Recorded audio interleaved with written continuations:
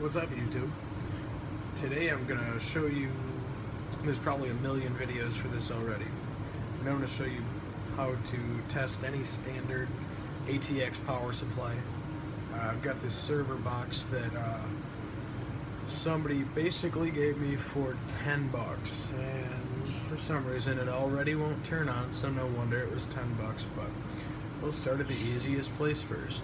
So take your uh, 20 or 24 pin connector or whatever it is and basically you see this green guy here? The green wire is the one that's the remote down to the power switch. So I'm gonna take uh, any jumper. I uh, just cut a chunk out of a Molex line from something else. And you're gonna jump from that green one uh, to any of these black ground wires but I usually use the one right next to it. So there you go. You leave it just like that and then you can plug your power supply in. So, you see down here, there's our power supply in the case, and if that fan kicks on, our power supply is good. And in this case, our power supply is bad.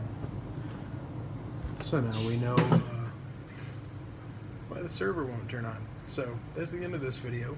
I'll get another power supply, and let's check out the server that cost 10 bucks.